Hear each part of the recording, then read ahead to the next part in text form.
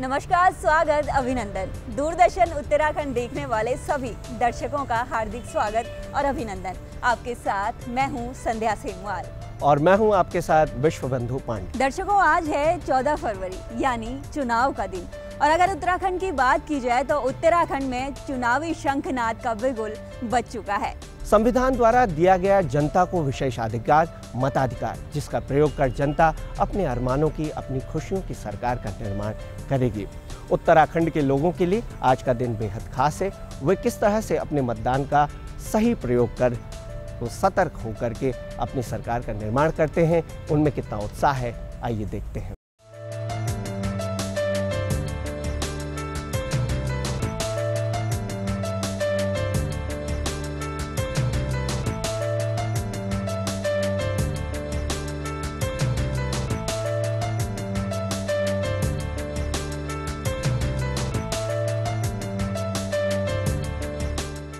तो दर्शकों अभी हम मौजूद हैं डोईवाला विधानसभा क्षेत्र में और यहाँ पर लोगों की अच्छी खासी भीड़ नज़र आ रही है।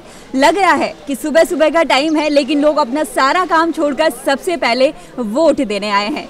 लग रहा है कि लोग जागरूक हैं। तो चलिए कुछ लोगों से बात करते हैं और देखते हैं क्या क्या मुद्दे होने वाले हैं उनके आज। क्या कहना चाहेंगे? क्या कुछ मुद्दे हैं आज? मतदान तो हमारा अधिकार है। सबसे पहला काम यही है देश को चलाने के लिए क्या चाहिए क्या नहीं चाहिए। क्या क्या मुद्दे रहने वाले हैं आज? मुद्दे तो मेन देखो, आजकल युवा यूथ है, युवा यूथ को तो सबसे पहले रोज़गार की आवश्यकता है। रोज़गार होगा तो सब कुछ होगा तो मैं तो यही कहना चाहूँगा इससे पहले युवा यूथ के लिए। बिजली, पानी आदमी क्या चाहिए? रोड चाहिए, बढ़िया। सुरक्षा चाहिए, यही है और क्या है?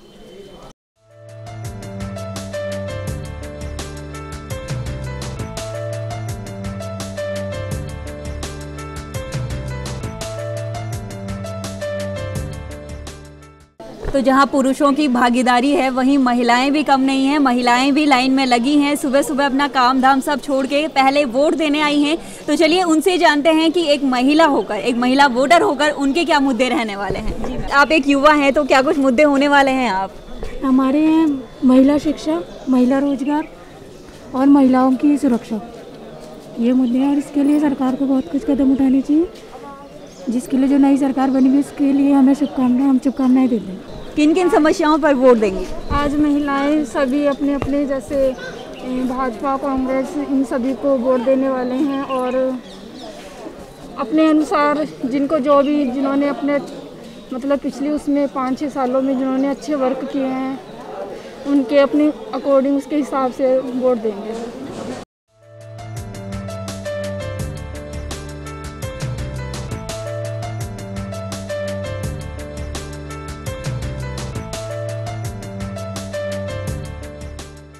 तो बुज़ुर्ग माता जी भी अभी हमारे साथ हैं जो अभी अभी वोट देकर आए हैं और उनका भी कहना है कि नहीं हम जागरूक हैं। उम्र बड़ी हुई तो क्या हुआ? अपनी ज़िम्मेदारी हम निभाएँगे ज़रूर। जी। मतलब महँगाई कम हो और मतलब रोज़गार अच्छे हों और सबका ही फ़ायदा हो। और हमारी गली में पानी भर रहा है उसके इलाज को ठीक करवाना है। बरसात के लिए बहुत मच्छर हो रहे हैं वहाँ डेंगू मच्छर हो रहे हैं सब। डोईवाला का भी विकास हो पूरी अच्छी तरह से रोज़गार का सारे उसका हर तरह का, हर तरह से विकास हो मतलब महँगाई कम हो, रोज़गार हो। तो दर्शकों, अभी हमने बात की डोईवाला विधानसभा क्षेत्र के मतदाताओं के लिए। वो तो जागरूक हैं अपने वोट को लेकर। तो चलिए, अब आपको लेकर चलते हैं धर्मपुर विधानसभा क्षेत्र की ओर।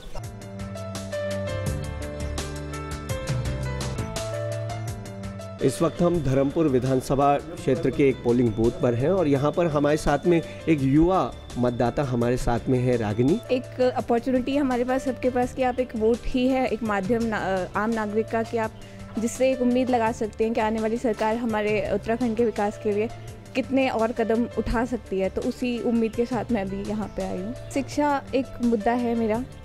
कि पहाड़ में हमारे शिक्षा का जो स्तर है उसको इम्प्रूव किया जाए। जैसे हमारे प्लेन्स में जो शिक्षाएँ हैं, उसका कंपैटिबिलिटी हो पाए वहाँ पे भी सरकारी स्कूल है पहाड़ों में उनका। दूसरा जो साफ़ सफ़ाई है उत्तराखंड में सड़कों का जो निर्माण है, वो इतना टाइम लेता है। ये सब मुद्दे हैं। मैं घर से आई ये सोच के कि मुझे अपना जो खुद से सोच के वोट देना है। ऐसे नहीं कि इन्फ्लुएंस होके कहीं से। और अपनी ही विचारधारा से बेस पे मैंने डिसाइड किया कि मैं किसे वोट दूँगी। और अब वोट देने के बाद मेरे अपने कुछ सोच है कि जो सरकार ऐसा करे, वैसा करे तो उनको मैं वोट दूँ। तो इस तरह के कुछ विचार थे। यहाँ पे ग्लव्स दिए गए हैं और जो मास्क नहीं पहना, उनको मास्क दिया गया है। और अच्छे से टेम्परेचर नापा जा रहा है तो बहुत अच्छी व्यवस्था है और हर चीज़ बहुत अच्छी हम देश के विकास को देख के ये अपने वोट का प्रयोग कर रहे हैं और ऐसे ही तरक्की हमारा देश करता रहे, दुनिया में इसका नाम हो, हम इसलिए वोट करते हैं। आई एम वेरी एक्साइटेड अभी सुबह सुबह आए मतलब अपनी मम्मा को बोला चलो चलते अभी रश भी नहीं होगा. एंड uh, हम जाके वोट कर देते हैं। तो एटलीस्ट हमें लगेगा कि भाई we have done something for the country and we have use a power which is invested in us for our country और हमें लगेगा कि हमने जो गवर्नमेंट बनाने में अपना कुछ इनपुट दिया है। सो so एटलीस्ट हम कल को ये बोलेंगे सरकार ने ये नहीं किया। तो we are also equally responsible because we have selected that government people deserve the government they select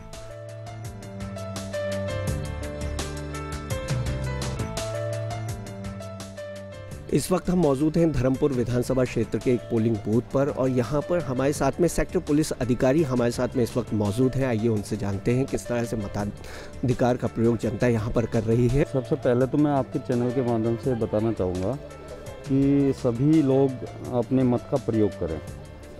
और सुरक्षा की बात है तो जब से चुनाव प्रक्रिया शुरू होती है और चुनाव प्रक्रिया ख़त्म होने तक पुलिस अपनी चाक चौबंद व्यवस्था रखती है। अधिकारी चुनाव आयोग के जो निर्देश होते हैं, उनके उनके निर्देशों का पालन कराया जाता है। और कोविड के अनुरूप भी इस समय लोगों को जागरूक किया जा रहा है, उसी के अकॉर्डिंग मतदान का प्रयोग किया जा रहा है। सुरक्षा की व्यवस्था में हमारी पुलिस मुस्तैद है और जहाँ तक उम्मीद है कि हम पूर्व की भांति इस बार भी इस चुनाव को शांतिपूर्वक संपन्न कराएँगे। सर, सुरक्षा व्यवस्था की हम बात करें, स्थानीय पुलिस के साथ में यहाँ पर क्या डिप्लॉयमेंट सेंट्रल पुलिस बल का यहाँ पर किया गया है? हाँ जहाँ जहाँ पे अगर संवेदनशील पोलिंग बूथ हैं हमारे, उनकी संवेदनशीलता को देखते हुए और अगर कोई ऐसा क्षेत्र है जहाँ पे कोई सांप्रदायिक मामला पहले हुआ है, उसके अकॉर्डिंग जो है हमारे यहाँ पे पैरामिलिट्री फोर्स की भी को डिप्लॉय किया गया है। सर, यहाँ पे जो कोविड नियमों का जो पालन है, उसमें आप क्या सोचते हैं कि पुलिस अपनी भागीदारी तो खैर निभा ही रही है, इसके साथ में जनता को जागरूक भी किया जा रहा है? हाँ जी, बिल्कुल जनता को जागरूक किया जा रहा है, उन्हें बताया जा रहा है कि आप मतदान प्रयोग करते समय मतदान का यूज़ करते समय आप कैसे रहेंगे, कैसे आपको जाना है, अंदर जाना है, लाइन में कैसे खड़े होना है, आप देख भी सकते हैं, आप प्रत्येक पोलिंग बूथ पर जो है मतदाता के लिए सर्किल बनाए गए हैं घेरे बनाए गए हैं। उनमें वो खड़े हैं और अपनी बारी का इंतज़ार कर रहे हैं।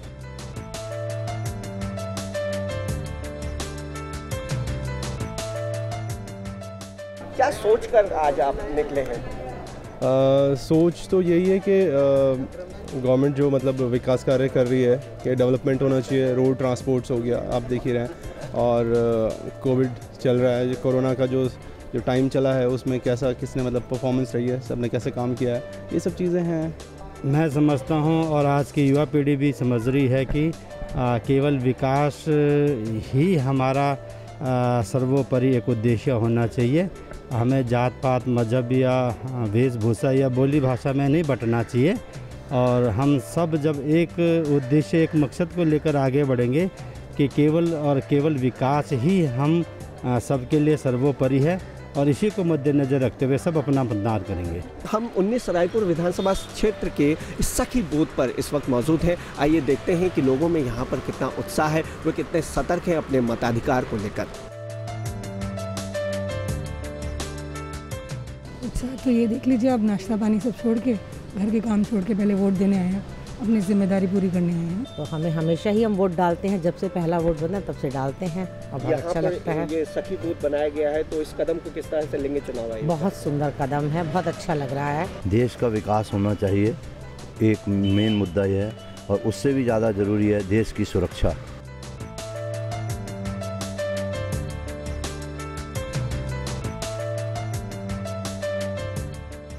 इस बार क्या मुद्दे खास मुद्दे जिनको लेकर के आप चुना, चुनाव मुद्दे तो देखो राष्ट्रीय सुरक्षा है शिक्षा है स्वास्थ्य है और रोज़गार है। ये सबसे बड़ी बात है। राष्ट्रीय सुरक्षा महिला सुरक्षा सबसे ऊपर बात है कि कानून व्यवस्था का बिल्कुल पालन होना चाहिए। मैं उत्तराखंड वासी हूँ मैं बहुत खुश मैं बहुत खुश हूँ कि मैं वोट देने जा रही हूँ उत्तराखंड के हित में जा रही हूँ। सर शिक्षा है और भ्रष्टाचार कम होना चाहिए। देश बचाना है। सबसे पहले देश बचाना है। उसके बाद तो महँगाई वो तो चलता ही रहता है ये तो कभी जो भी सरकार आएगी महँगाई तो बढ़नी। वोट का अधिकार से आप अपने आपके देश हित में आप जिसको समझते हैं उसको चुन सकते हैं इसका विशेष यही है। और रही बात मुद्दों की तो मुद्दे तो देखिए हर विधानसभा एक ही होता है मुद्दा सबका। राष्ट्र स्वास्थ्य शिक्षा शिक्षा ये सब होते मुद्दे होते हैं। लेकिन कौन कितना उसको डेवलप कर रहा है उस बात की। जो पार्टी राष्ट्र हित में काम करेगी और विकास का काम करेगी भ्रष्टाचार को ख़त्म करेगी। वही मुद्दे हमारे मेन है, शिक्षा नीति चेंज होनी लेडीज़ पुलिस हमारी बहुत बढ़िया काम कर रही है जेंट्स सर लोग बहुत बढ़िया कर रहे हैं। पूरा जो हमारा कोविड प्रोटोकॉल है वो पूरा फॉलो किया जा रहा है सर। हमारे साथ में जोनल पुलिस अधिकारी शरद चंद गोसाई जी हमारे साथ में इस वक्त मौजूद हैं। आइए उनसे जानते हैं किस तरह से मतदान यहाँ पर किस व्यवस्था के साथ में चल रहा है। सर मतदान को लेकर के आज मतदान का दिन है काफ़ी बड़ा दिन है तो किस तरह की तैयारी पुलिस प्रशासन ने की हुई है? सर देखिए सर जहाँ- जहाँ तक पुलिस की सुरक्षा व्यवस्था का और मतदान में सुरक्षा व्यवस्था का पुलिस प्रशासन की जो व्यवस्था है उसमें पूरी मतलब बूथों में प्रॉपर व्यवस्था की गई है और इनको सभी निर्देशित किया गया है, जितने भी कर्मचारी हैं उनको कि किस तरह से लाइन लगानी है और किस तरह से कोविड के नियमों का पालन करवाना है लोगों से। उसके अलावा फिर सेक्टर बने हैं, वो सेक्टर में पूरे लगातार जो टीम बनी है सेक्टर पुलिस अधिकारी और सेक्टर मजिस्ट्रेट की, वो लगातार उसमें सेक्टर में घूम रही है और उसके बाद एक जोनल अधिकारी और जोनल पुलिस ऑफिसर की एक टीम बनी है, वो भी लगातार राउंड में रहती है और सुरक्षा व्यवस्था का लगातार ध्यान दिया जा रहा है। और यदि कोई भी दिक्कत आती है तो फिर हम लोग तुरंत उसका निराकरण करते हैं। कोविड हमेशा से एक चुनौती है और चुनौती अभी आगे आने वाले टाइम तक ये चुनौती रहेगी और हम लोग इसका पूरा ध्यान रख रहे हैं। हम लोग आपस में और पब्लिक को भी इस तरह से अवेयर कर रहे हैं कि इसका पूरा ध्यान रखा जाए। हर संभव प्रयास किया जा रहा है कि इसको पूरा, इसको कोविड को ध्यान में रखते हुए ही इसको सकुशल इसको संपन्न करवाया जाए।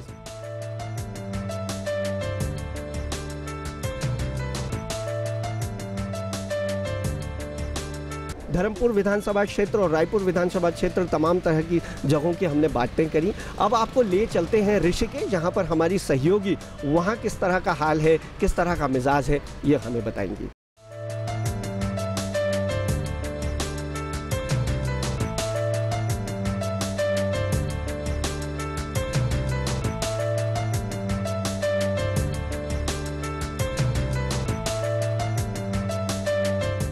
तो दर्शकों, धर्मनगरी हरिद्वार के बाद दूरदर्शन उत्तराखंड की टीम अब आ पहुँची है योग नगरी ऋषिकेश विधानसभा क्षेत्र में। यहाँ पर भी लोगों की लंबी लंबी कतार हैं, जो कह रही हैं कि हम भी जागरूक है, पुरुषों की लाइन भी है, उसके साथ ही महिलाओं की भी लाइन है, जो कह रही हैं कि नहीं, हम पीछे क्यों रहे? हम भी अपने वोट का प्रयोग करेंगे और अपने प्रत्याशी को विजय बनाएँगे। पार्टी भी आए जो है, गाँव का विकास होना चाहिए, शहर का विकास होना चाहिए, अपने राज्य का विकास होना चाहिए, है ना? पार्टी से क्या है? पार्टी तो आज कोई है लेकिन जो भी पार्टी है गाँव के विकास के लिए, शहर के विकास के लिए वो आगे जैसा कि हमारे क्षेत्र में कहीं ग्राउंड कहीं ऐसे खाली पड़े हम चाहते हैं, वहाँ पे कुछ फैक्ट्री का विकास हो ताकि जो युवाएँ हमारे, उनको रोज़गार मिले। कुछ ऐसा हो जिससे क्योंकि पार्टी हर पाँच साल बाद आएगी, बदलेगी, कुछ होगी, पर विकास के नाम पे कुछ हो नहीं रहा है। कॉलेज खुल गए हैं, पर जॉब्स की अवेलेबिलिटी ज़ीरो है। तो कुछ ऐसा हो जहाँ पे जॉब्स हो फैक्ट्रीज हो, कुछ हो, जहाँ पे लोग काम करें, विकास हो, ऐसा कुछ हो। तो चलिए एक युवा वोटर से जानते हैं कि उसके मन में क्या चल रहा है अपने प्रत्याशी को लेकर। नथिंग स्पेशल मैम बस अपने वोट का प्रयोग करें अवश्य करें। हर किसी कैंडिडेट से ये मेरी वो है और थोड़ा सा महँगाई और बेरोजगारी पे ध्यान दिया जाए। तो दर्शकों ऋषिकेश विधानसभा क्षेत्र की जनता तो जागरूक है। यहाँ के मतदाताओं का कहना है कि क्षेत्र के विकास के लिए हमारा एक एक वोट बहुत कीमती है। जब हम वोट देंगे तभी तो क्षेत्र में विकास की लहर आएगी। तो चलिए अभी आपको लेकर चलते हैं सहसपुर विधानसभा क्षेत्र की ओर और और देखते हैं वहाँ की कुछ झलकियाँ। और इस वक्त हम मौजूद हैं सहसपुर विधानसभा सीट के एक मतदान बूथ पर। क्या मुद्दे लेकर के आए हैं बस यही मुद्दा लेके आए हैं जो भी जीते बस विकास करे। जो भी चुन के आए वो अपना विकास का वो रखे है ना? जैसे बिजली पानी स्वास्थ्य सुविधा हो वोट देने हम तो ये है कि रोज़गार खुले सबका। गाड़ी, सबकी गाड़ी ठप हो रखी। स्कूल की वैन सारी खड़ी हो रखी ऐसी। तो ये खुले, रोज़गार खुल जाए सबका। बेरोज़गारी है, महँगाई है, और भी बहुत कुछ है। हमारे हमारे मतलब हमारे जो सहसपुर में है, इसमें भी काफ़ी हमारे लाइट को प्रॉब्लम है, सड़कों का प्रॉब्लम है। कोविड प्रोटोकॉल का अपना ध्यान रखें और अपना मत का सही उपयोग करें। वोट डाल के बढ़िया लग रहा है। और काफ़ी लोग आ रहे हैं, युवा भी आ रहे हैं, बुज़ुर्ग भी आ रहे हैं, सभी आ रहे हैं मतदान करने। जितने भी युवा पीढ़ी है, सब महसूस कर रहे हैं और भविष्य में भी करेंगे। और जितने भी हमारे युवा हैं, उनको कहता हूँ कि आइए अपना वोट डालिए। बिना वोट डाले आगे भविष्य नहीं करता है, कर सकते हम किसी का भी। अब हम आपको लिए चलते हैं बीएचएल रानीपुर में, जहाँ पर हमारी सहयोगी आपको बताएँगी कि वहाँ पर क्या स्थिति है।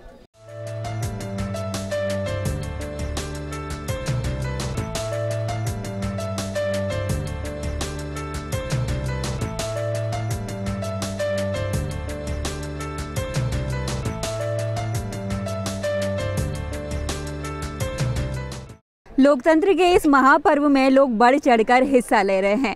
अभी हम मौजूद हैं बीएचईएल रानीपुर में और यहाँ पर जो ये लंबी कतार दिखाई दे रही है आपको, ये बता रहे हैं कि हम भी एक जागरूक नागरिक हैं, हम भी अपने वोट का सही इस्तेमाल कर सकते हैं। हम भी हमारे साथ कुछ लोग मौजूद हैं, उनसे भी बात करते हैं और जानते हैं कि क्या कुछ उनके मुद्दे हैं, क्या कुछ मुद्दों पर आज वो बात करेंगे और अपने जो प्रत्याशी हैं, उनको वोट देंगे। हाँ हमारी समस्या भाई हमारा नाली नहीं बना सड़क नहीं बन रही है और ना ही सिविर लाइन लग रहा है। बेरोजगारी इतनी है जी बेरोजगारी इतनी है। पहले सिडिकुल में इतना काम चला करता था आजकल काम ही नहीं है बिल्कुल भी। बेकार घूम रहे बेकार? विकास के लिए देश का विकास हो उन्नति हो इस बेस पे हम वोट कर रहे हैं देश के लिए अपने उन्नति के लिए। देखिए बेरोजगारी है महँगाई है भ्रष्टाचार है बच्चों की पढ़ाई बर्बाद है और स्कूल की फ़ीस इतनी ज़्यादा है कि गरीब आदमी उसको भरपाई नहीं कर पा रहा है और विकास कुछ भी नहीं है यहाँ पर। तो कुछ युवा वोटर भी अभी हमारे साथ हैं उनसे जानते हैं कि कितना कुछ रोज़गार के अलावा भी क्या कुछ मुद्दे हैं या फिर रोज़गार सबसे मेन मुद्दा होने वाला है? रोज़गार तो यही चाहिए जो अभी अंकल जी ने बोला है। हम काफ़ी पढ़े लिखे हैं फिर भी हम लेबर गिरदी कर रहे हैं तो ये चीज़ देखनी चाहिए सरकार को।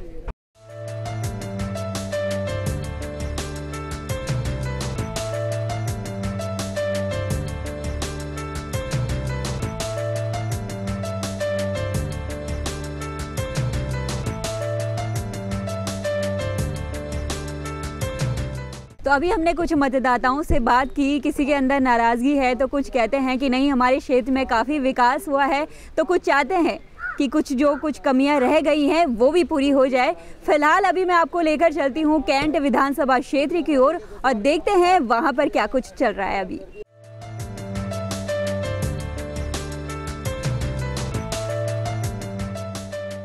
राजधानी देहरादून की देहरादून कैंट विधानसभा क्षेत्र के मतदान स्थल पर इस वक्त हम मौजूद हैं और आप देख सकते हैं भारी तादाद में काफ़ी उत्साह है। जनता में यहाँ पर अपने मताधिकार का प्रयोग कर रहे हैं। हमारे साथ में यहाँ पर कुछ लोग हैं, आइए उनसे हम बातचीत करते हैं। मैम, आप अपना नाम बताएँ। उर्मिला। यहाँ पर आज जब आप घर से निकली थी क्या सोच करके निकली? किस किस तरह के मुद्दे हैं आपके मन में जो आप वोट यहाँ पर दे यही कि हमारी सब समस्याओं का समाधान होगा और कोई अच्छा कोई प्रत्याशी चुनकर हम उसको वोट देंगे अपने अधिकार का उपयोग करेंगे। सब यही है कि विकास होगा तो अब रोज़गार हमारा तो मेन रोज़गार ही है। रोज़गार का मुद्दा था। मेन रोज़गार का ही मुद्दा है। लोग ये सोच रहे हैं जिन मुद्दों को जिन उद्देश्यों को लेकर हमने राज्य बनाया था वो धरे के धरे रह गए हैं। लोग अपने आप को ठगा सा महसूस कर रहे हैं। सबसे बड़ा मुद्दा जो है, वो पलायन भू कानून रोज़गार और जो भ्रष्टाचार। हमारे जन मुद्दे हैं कि यहाँ पर बच्चों के लिए शिक्षा का जो एक समान सीबीएसई वाला सिलेबस है, वो चले और जो पलायन हो रहा है यहाँ से, पहाड़ों से, वो पलायन रुके। जवानों को जो युवा पढ़े लिखे हैं, उनका जो बेरोजगारी है, उनको दूर किया जाए। साथ में जो महिलाओं के लिए जो काम होना चाहिए, महिलाओं को जो काम देना चाहिए, हाथ में वो होना चाहिए।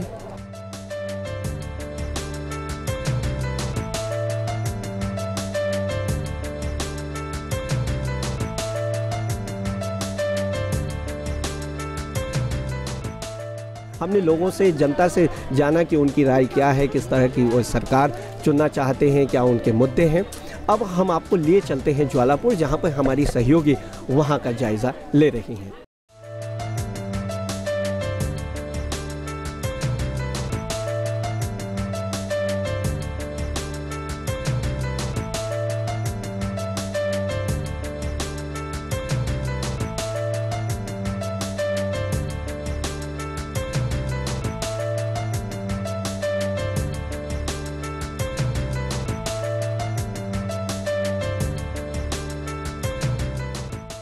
तो दर्शकों, अब दूरदर्शन उत्तराखंड की टीम आ पहुँची है ज्वालापुर क्षेत्र में और यहाँ पर भी मतदाता अपने वोट की चोट पर अपने प्रत्याशी को विजयी बनाने के लिए लाइन में खड़े अपने बारी का इंतज़ार कर रहे हैं। तो चलिए उन्हीं से बात करते हैं और जानते हैं क्या कुछ ऐसी बातें हैं जिनको ध्यान में रखकर वो अपने प्रत्याशी को आज वोट देने जा रहे हैं। सबसे पहले बेरोजगारी हमारे यहाँ पे क्या है, बेरोजगारी बहुत ज़्यादा है। जो भी ऐसे लोग हैं जो नौकरी पे लगे पर उनको अभी तक एडो में ही रखा गया है और उनके फ्यूचर को ध्यान में रखते हुए उनको परमानेंट सरकार को करना चाहिए। पहले से महँगाई भी कम हो गई है। लोगों की नौकरी भी काफ़ी तरक्की हो गई है, मिल रहा है। ऐसी बात नहीं है कि नहीं मिल रहा है। अब अचानक से सोचेंगे कि हम रात में सपना देखे वो सुबह पूरा हो जाए तो ऐसा नहीं होता। हर चीज़ देखनी पड़ती है, सोचना, समझना पड़ता है।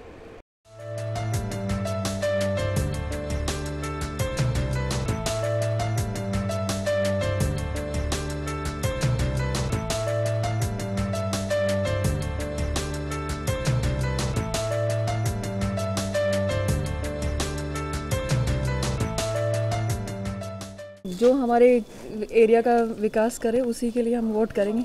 मुद्दे तो बहुत है मैडम जैसे बेरोजगारी हो गई है और महँगाई है इसी को देखते हुए वोट करेंगे आगे। देश हित में जो भी सही होगा वो करेंगे। जिस देश में आठ साल का बच्चा नौ काम करता है उस देश में बेरोजगारी हो ही नहीं सकती। लेकिन देश हित में जो भी होगा उसको दिया जाएगा वोट। अभी तक हम जिन भी विधानसभा क्षेत्रों में गए हैं मिलजुल कर एक रूप तो सामने आया ही है कि वोट सबसे पहले चाहे प्रत्याशी कितना भी आ, सक्षम हो या ना हो लेकिन हमें वोट देना है काम करे या ना करे लेकिन हमें हमारा जो पहला कर्तव्य है वो निभाना है हमें वोट देना है। जैसे कहा भी जा रहा ना कि पहले मतदान फिर जलपान। तो चलिए आपको लेकर चलती हूँ राजपुर विधानसभा क्षेत्र की ओर और, और देखते हैं वहाँ पर क्या कुछ खबरें हैं। राजपुर रोड विधानसभा क्षेत्र जो है वो पौष इलाके का ये क्षेत्र है। यहाँ पर हमारे साथ में कुछ लोग हमारे साथ में इस वक्त मौजूद हैं। आइए उनसे बातचीत करते हैं। अपना मतदान तो करना ही चाहिए सबको ही करना चाहिए। है ना? इसका बहुत वो है। एक एक वोट की वैल्यू होती है। मैं ये चाहती हूँ कि जो हम ये मतदान करें हमें एक तो डेवलपमेंट चाहिए और दूसरा नौकरी। मेरा मतलब यही था कि इस बार वोट करना है चाहे कोविड जो भी प्रॉब्लम्स है हमें आगे बढ़ना है। स्थिति को ऐसा देख रहे हैं कि पहले की स्थिति और अब के स्थिति में बड़ा फ़र्क है। अब हमारे जितने भी मतदाता हैं मतदान केंद्र पर जो भी अधिकारी हैं सब बुद्धिजीवी। वो खुद भला और बुरा सोचते हैं हमें किसे वोट देना है किसे नहीं देना है। मतदान में मन बना के आए हैं जैसा देश चल रहा है प्रोग्रेस कर रहा है उसको मज़बूत करना है।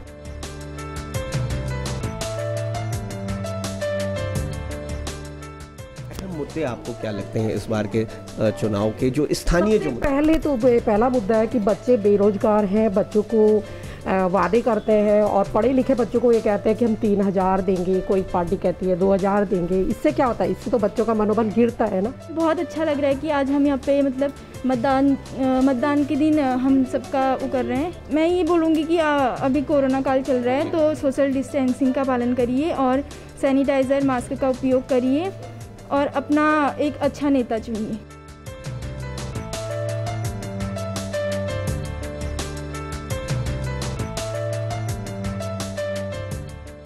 अब आपको हम लिए चलते हैं अपने सहयोगी के पास, हरिद्वार विधानसभा क्षेत्र में। देखते हैं वहाँ पर क्या स्थिति है।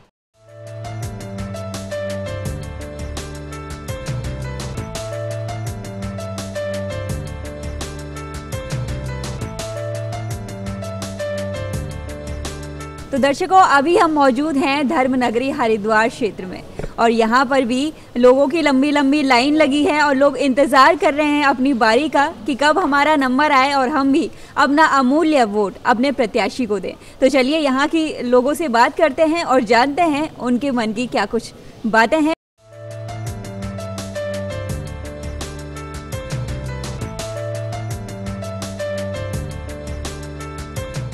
तो सर आपसे जाना चाहेंगे आप अभी अभी वोट डाल के बाहर आए हैं तो क्या उम्मीदें हैं अपने प्रत्याशी को लेकर?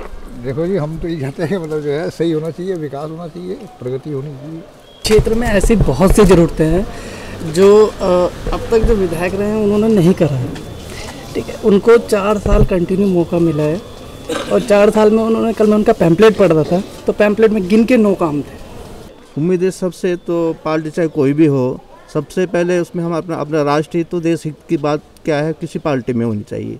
जो पार्टी देश हित देश हित की बात करता है, राष्ट्र हित की बात करता है, उस पार्टी को हमारा सपोर्ट रहेगा, चाहे कोई भी पार्टी हो सो इसमें वर्तमान में जो पार्टी है, उस पार्टी ने पूरे केंद्र से लेकर के पूरा उत्तराखंड का बहुत विकास किया है। आज से पिचहत्तर साल पहले जो जो कार्य नहीं हुआ है, वो कार्य क्या है? दस साल में क्या है? वर्तमान सरकार ने करके दिखाया है। और यही मैं आगे भी सरकार से अपेक्षा करता हूँ कि वो इसी तरह से देश का देश का, राज्य का और स्थानीय जनता का और स्थानीय शहर का क्या विकास करेगी। इसी इसी आशा से हम वोट देने के लिए यहाँ पर आए हैं।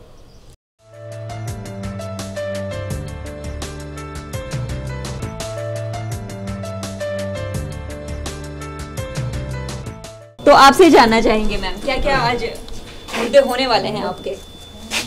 मुद्दे अच्छे होने चाहिए। और जो हम जैसे जो पार्टी जो करना चाहती है वो करे पर हमें तो जो वोट जिसको देना है हम उसी को देंगे जो अच्छा काम करेंगे हम उसी को देंगे। महँगाई थोड़ा सा ज़्यादा है और कुछ नहीं कह सकते। ये है सरकार ने वैसे सड़कें तो बहुत अच्छी बनाई है और जो इतनी क्या नाम सुविधा करी है यात्रियों के लिए वो भी बहुत अच्छा करा है। सबसे पहले तो बात यह है कि इस उत्तराखंड राज्य में जो है बेरोज़गारी दर बहुत ज़्यादा हो गई है। तो मैं तो चाहती हूँ कि युवाओं के लिए बेरोज़गारी दर कम की जाए नौकरियाँ निकाली जाए सरकारी नौकरियाँ ये महँगाई तो इतनी बहुत ज़्यादा हो गई इतनी महँगाई हो गई कि बेरोजगार वाले तो बहुत परेशान हैं। और छोटे छोटे कर्मचारी कहाँ से भरपाई करें?